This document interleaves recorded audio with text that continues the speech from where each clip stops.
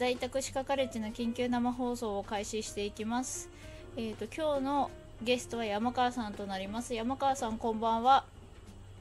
こんばんは、山川八重子です。はい、よろしくお願いします。お願いします。で、えっ、と今日で3回目の出演になるんですが、えーのこの放送から拝見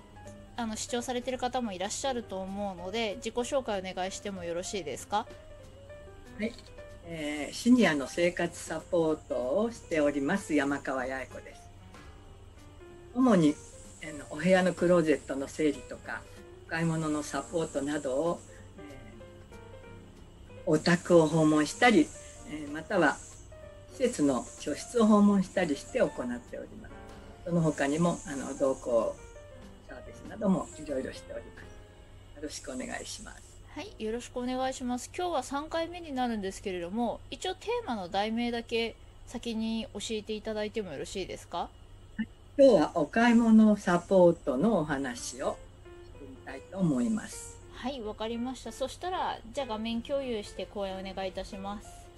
はい、お願いします。はい。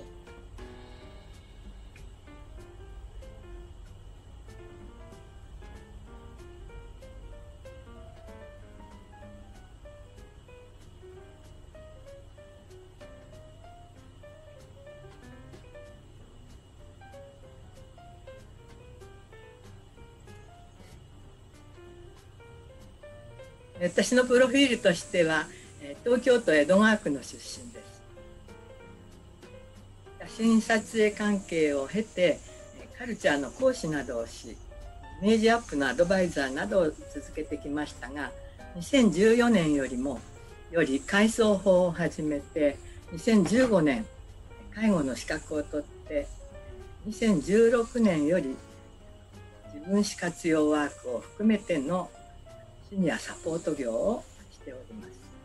ご自宅とか介護施設の教室を訪問してのお仕事です。えーその他の外出の同行などもあの多くしております。あともう一つ谷中銀座で自分史のサロンを主催しておりますが、このコロナで、えーお借りしているカフェが閉鎖になってしまったので月1回開催してたんですけれどもちょっと今のところお休みというところです。でえー私のやっているお仕事を4つに分けて、えーお話ししてるんですけれども丸一として、えーおしゃれのサポートクローゼット整理などえこちらのお話を前回させていただきました。そして丸二として今日お話を進めるのはお買い物の動向そして、えーネット通販のサポートなど気に入ったもので、えー身の回りをあの作っていただいたら楽しいんじゃないかなと考えてます。そして丸三としては自分史活用ということなんですけれどもあの先ほどのクローゼットの整理とか買い物同行などであのいっぱい、えー思い出話も伺うことができたりしてそれをあの膨大な写真の整理とともにあの伺いながら何か新しい形にするということであの分史作りも、えーお勧めしています。で丸4なんですけどもその他のお仕事として、まあ、コロナの新しい時代になってねあの今まではあのちょっと考えられなかったようなこともあのこれからいろいろ試してみたいなと思っています。例えば昔住んでたあのお家をあの収録してきてまたはあの Zoom で見ていただいたりお友達同士あの顔を見ながらおしゃべりをするということも今後あの遠くに離れていてもできることかなということでそれはいずれお話したいと思いますけれども今日はお買い物同行代行の詳細をお話してみたいと思い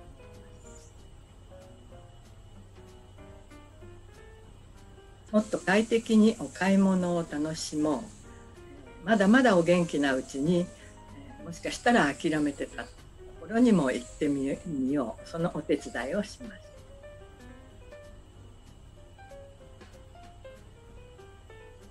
最初のお話は椅子を買い替えましたということね。えー、画面の左に映ってる塔の椅子が長年使ってた椅子なんですけどもこの方はもう、えー、90になられた方で、えー、ご主人亡くされてお子様もいらっしゃらないので全部整理をして有料施設に入られている方です。荷物もあの本当に処分するのにお金がかかったのよなんておっしゃってましたけどもあのこの椅子はあの大事に持ってこられて日々愛用されたんですけどもさすがにあのもう危ないぐらいに壊れてしまって、えー、新しいものを買いたいんだけどなるべく同じイメージのものを買いたいんだけどということであのカタログなどもいろいろ見ていたようですけれどもやっぱり座ってみなきゃなかなかわからないわ。ということで、えー、私が呼ばれた次第です。で、えーまあ、昔もあのたまに出かけたんでしょうかそういった大型の家具屋さんに車でご一緒しまして彼女はまだシルバーカーであの動ける方なんですけれどもただ、えー、売り場はとても広いですので、えー、お店の車椅子をお借りして、いろいろ見て回りましたね。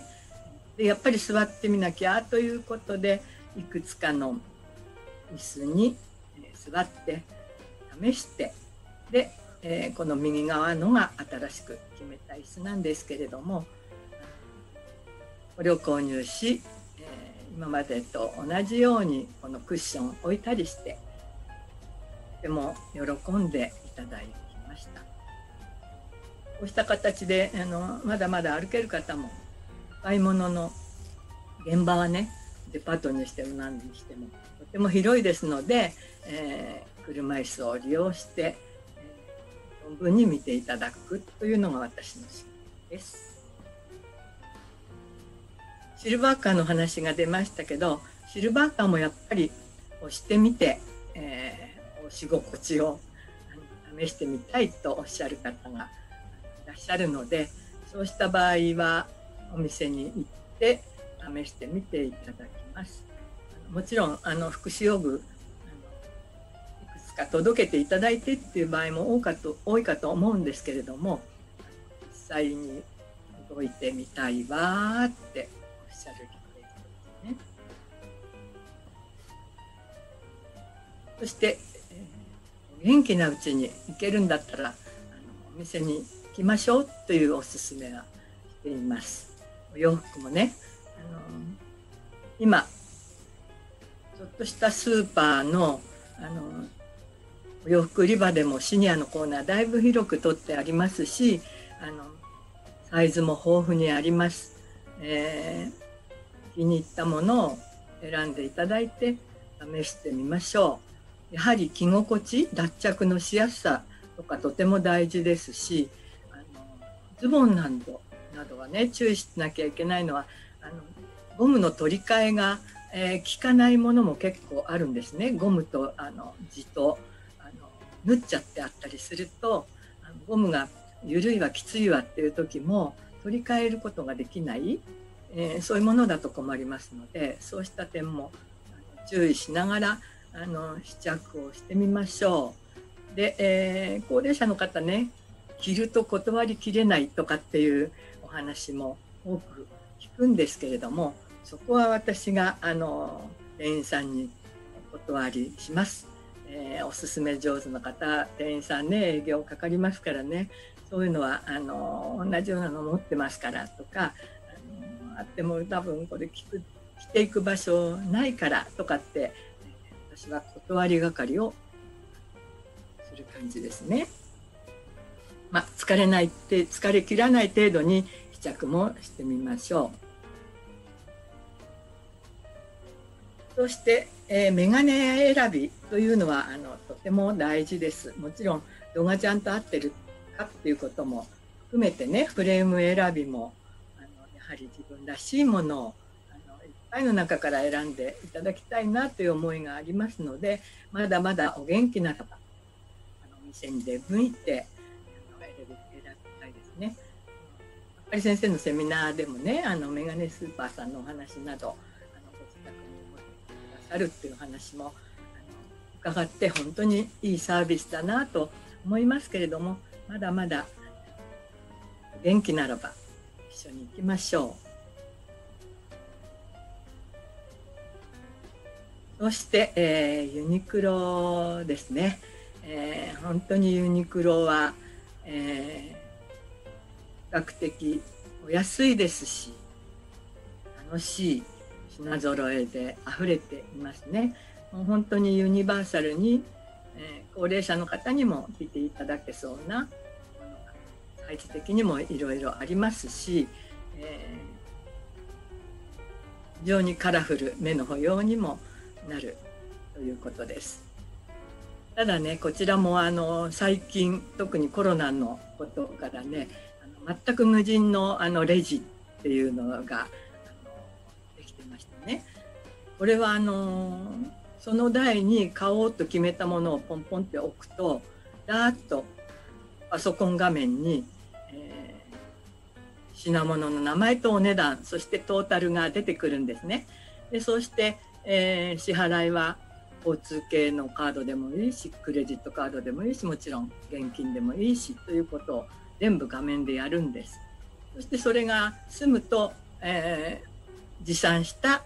マイバッグに入れてレシートをいただいて帰るということですがやはり高齢者の方にはあのなかなか大変な作業です。私も初めての時はちょっと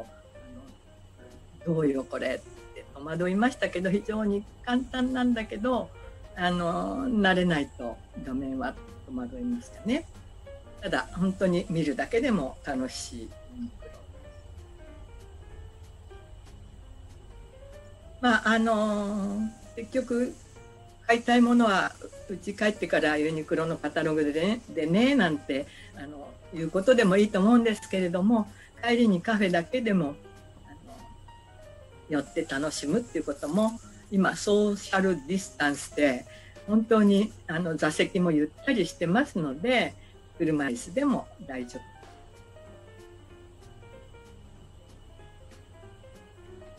まああの外へのお買い物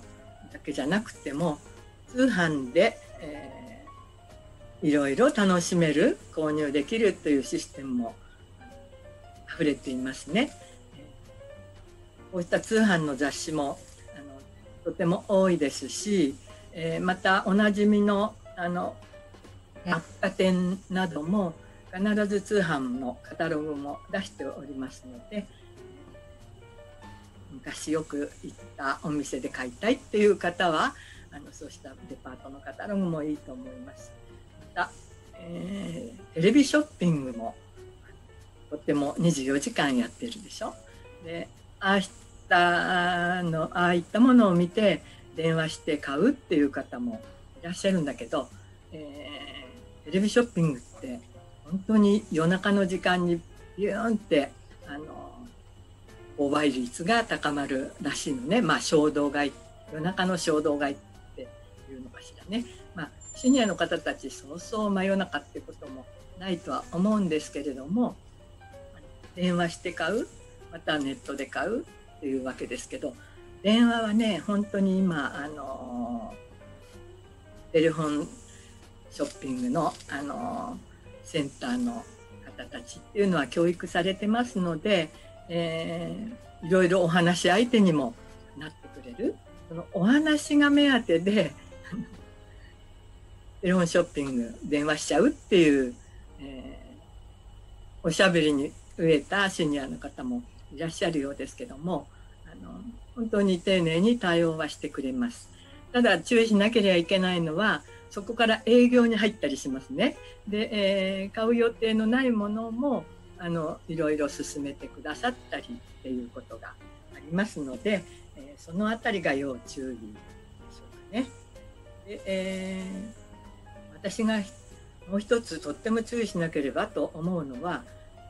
定期販売定期購入というやつです例えば健康食品とかあと化粧品とかね定期的にあの配達しますよっていうものは1個単体で買うよりもとてもお安いお得なあの値段設定になってるんですね。なんかお試しもしないで定期購入っていうのもとても不安なんですけども例えば、えー、まあ、何ヶ月かに一遍の配達だと思いますが、えー、シニアの方入院になっちゃったていう時もあのストップはなかなかかけてなかったりすると商品だけ定期的に届いちゃうっていうような盲点がありますから私は本当にあの高齢者の方の定期販売っていうのはあの良くないな危険が伴うなと思っています。まああの電話で詳細を聞くにしても、まあ、私がそばであのいろいろ電話かわ途中で変わってねいろんなことを聞いたり、えー、テレフォンショッピングそれからあの通販にしてもいろいろなサポートをしています。またほら返品とかサイズ違いのねあの交換とかも結構いろいろなことが生じますね。はい、本日のまとめ、えー、ショッピングは気分転換に最適です。例えば、えー、アスリートたちも大会が終わって、えー、何したいですかっていうインタビューの時に美味しいもの食べたいっていうのはあるんですけどもその次に結構ショッピングしたいっていうのもありますから結構これはあの人間の本能の一つなのではないかなって現代社会においてはね。そして、えー、見て歩くだけでもいいじゃないですか。例えばあのコンビニ近くのコンビニ行くだけでも楽しいっておっしゃる方いらっしゃるんですね。でそれらっていうのはやっぱり世の中に参加している感じが非常に大きいので、えー、その方その方のライフスタイルに合わせて明日の元気のためにもお出かけしようという感じです。有先生いかがですか？何か質問ありますでしょうか？あの一点気になったのがあるので、えーと、はい、高齢者夜中にテレフォンショッピングしてる率高いです。あそうなんですか。高いですね。はい。そうですか特にあの低所得者層って言われてる人たちが比較的多く買ってる傾向もあるなとは個人的に患者さん見てて思います。あ なるほどなるほど。であとはもう頼んだこと忘れて届いちゃって家族が返品とかっていう事例も多いですし。ええええ本当衝動買いよね。うん。その時は本人は必要だと思ってるんですよ多分。うんうん、でまあちょっとその方元からそういう気質があってずっと私も歯医者っていうのに、うん、歯医者なんて頼んでないのになんでお前のところの請求書が来るんだとか電話してくるタイプなので。だからそういったのを逆に言うとその本人が電話しちゃうことを止めるって結構難しいんですよ。電話機をなくせばいいんですけど、うん。うん、なかなかそういうわけにもいかないので逆にここから注文があった時は受ける素振りをして、発注しないとかっていう風にしてもらえると本当はすごいありがたいんですけどね。かける場所って定期的に決まってるので。あなるほど。うん。そうですよね。っていうところがちょっと思ったところかな。うん。結構ね、うん、そうですね。通販は困ってるお家多いですね。あとあったのは新聞を知らない間に2件頼まされてて買ってたっていうのが後ほど発覚するとかね。うん。でも新聞っていうことはそれだけ社会性を保ちたい気持ちはいっぱいなのかな？それとも結構広告があの目に楽しいからそっちの方かな？違います。多分新聞を元から読んでて同じ新聞を2つ頼まれてるんですよ。たまにあるんですよね。うちの実家も実際にあったんですよまあ大手の新聞会社さんが3つ頼んでくれないかって、なんで3つ頼む理由があるのみたいな。うんえとかっていうのををうまく言われたんじゃないかなってちょっと思う節はありますけどね。うんもうそういう営業に入ると店舗はすごいですからね営業力ねそうですね。あ半券分になっちゃったんだねそういう時に止めてくれる人がいるとだからそれこそ後見人の先生がついてるとかだと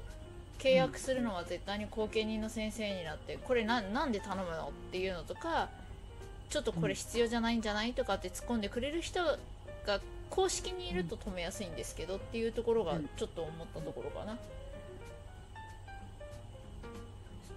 結構な被害率があるところなのでっていうところとあとはまああの山川さんがされているその椅子のところとかお洋服のところとかってね結構言われたら家族が買ってくるっていうケースが多いところだと思うんですよ。えで実際に多分山川さんも聞いてるかもしれないんですけどえご家族が買ってきたもので満足してる人ってどれぐらいパーセンテージいます？ほぼほぼないですよね。うんほぼないですよ。で私も満足してる話は聞いたことがない。あの特に、えーお嫁さんとかね断りにくいからしょうがなくって、えー、来てるみたいな、えーちょっとこれ違うって言いにくいっていうようんそうですね。うななので本うんうん。当に無理なおすすめっていうかまああのえこのくらい綺麗な色いいですよっていうのはもちろん背中を押す時はいつも無難なのばかりみたいなのよりも素敵ですよっていうことはするけどそれもあんまり過剰にあの進めることは、えーやっぱり私に遠慮して じゃあ着るかみたいにやってるだけなのかもしれませんしあとあの例えばね、えーっとこれは施設でですけど上履き用っていうんであのケアマネさんがあの介護用具のところに注文したんですね。でいくつか持ってきたけどあのみんな可愛らしいのばっかりなわけ、えーつまりあの女性なら可愛いのなら喜ぶだろう的な発想なんですけども、あの彼女はあのそういうエレガントなとなのは好きだけど可愛らしいブリブリっぽいのは嫌だわっていうような非常にこだわりの強い方で、えー私もそのあの介護用具の福祉用具のお兄ちゃんに女性だったらみんながみんな可愛いの好きと思ったら違うんじゃない？なんて偉そうなことをそばで言ってしまいましたけど。うんうんなかなかその好みっていうのは大変難しいところですよね。こだわりのある方ほどたとえあの私が勧めるものでも好まないものは好まないですもん本当に難しい。なのであの代わりにお買い物に行ってもあのと思ったらいくつか写真に撮って二度手間にはなるけれどもあのどうしますっていうことでタログで見るよりもよっぽどこうなんかライブ感はあるじゃない？なのでそんなことまあ、カタログだとね香料も違うし綺麗に見せてうん。補正もかけてるでしょうから、そうですね。そう。まああとは本当はいけるんだったらやっぱり一緒に行って選びたいっていうのはあの、はい。その洋服に関してもそうですけどで、実際には日頃のお買い物？あのスーパーのお買い物ですら言う方多いですからね。でそうですね。うんでも今本当ふりかけでも何でもすごいいっぱいいろんな種類出てるじゃないですか。そうするとこう斬新な喜び発見があったりしてそういうのはとってもいいことですよね。そうですね。まあなかなか今コロナの時期で外え出支援っていうのも、まあただでさえヘルパーさんですら結構ヒヤヒヤで、はい。介護事業者、医療従事者もやってる中で外出支援も結構ヒヤヒヤだと思うので、まあ、もうちょい、はい今うん。難しいですそうね。ですね。えあちょっと一つ忘れたことがあったぞ。う。えーっとねこれお買い物じゃないんですけど、えー外出で思い出した、えーこれ着物展って言って国立博物館で今やっててあの予約制で見られるんですけど実は私数日前に行ってきたんですね。うんで、えー昔からのお着物いろいろとあのちょうど大正末期から昭和に大流行りした名船っていうまあ普段着ですけどもえー秩父とか足利などが産地だったりするんだけどあの今の高齢者の方たち特にあの自分のお母様たちなんかが結構来てたかもしれませんしうんと高齢の方だと思ってたわっていうような感じで。えーこんなのもあの今予約制で人数制限は大いにしてますので車椅子でだったら回れますから、えーまだまだお元気なうちに、えー現場でだけは車椅子利用ででもねそうしたことも夢ではないですよ。出かけ投稿したいです。そうですね、えっと、美術館によっては元からその人気なところに関しては、障害者枠とか、えっと、その体に不自由な方の枠を元から時間で設けてそこだけ優先で予約しているところも比較的多くありますのでご興味ある方はあの各自でちょっと調べていただくことになりますがあの興味のある美術館の方にお問い合わせしていただいてその枠があるかどうか確認していただけるといいかもしれないですね。そうですねはいぜひご一緒したいと思います。はい、ありがとうございます。あとまあ今日出てきてたのはえっ、と椅子とか服とかが多かったんですけど、まああとはい靴は難しいですよね。結構皆さんむくんでる人が多いので、本当に靴は難しいです。なんかなのでみうんうん。見た目でね、あの山川さん履いてるみたいなの欲しいのよ。えこれ島村ですよなんていうね 上履き的なものも。あの多分実際履くとまたいろんな不具合あのあると思うんですよね。島村にお連れすることは。あのでもお連れして履いてみてあやっぱり歩きにくいねとかってで納得していただくしかないのかもしれないけどあのお元気な方はあのそうして納得いくまであの選びに回りたいなと思ってます。靴は本当に大変。うん。あとそれ以外に一緒に買いに行ったものってあります？なんか珍しいもの的な。珍しい。まああとね化粧品？昔使ってたの同じの欲しいのよ。私がネットでいくら調べてももう廃盤になってたりするわけね。であそこのお店に行けば多分あるわって言って昔通われてたところまあお連れするんですよ。うん。でもねあの私がそう言ってたわけじゃなくてもう廃盤でもまあ美容部員さんにあれに代わって今こういうのが出てますとかあのいろいろそういったプロの現場での説明を受ければ納得するかしらね。でもプラスいろんな営業入りますからこれもいいですよ。あれもいいですよ。あれこれもでもう何万かになってもうま隣で私はヒヤヒヤっていううん。なるほど。ありがとうございます。じゃあ、えー、と今日はこのぐらいにしておいて、はい。えっ、と、はい。次は、えー、と何の放送でしたっけ、じゃああの自分史関係ね。写真整理とか自分史関係。またあの私はあのシニアに向けての写真整理からの自分史作りというのとは別にあの若い方たちっていうか一般の方たちも自分史ってあの結構面白いコミュニケーションツールですよっていうんであのサロンをやってますのでこのサロンでのあのお話をちょっと今ねあのコロナでストップしちゃってますけども自分史活用とはいかに面白いかというのをお話ししてみたいと思います。はいありがとうございます。じゃあ最後山川さんあの連絡先についてご説明お願いします。はい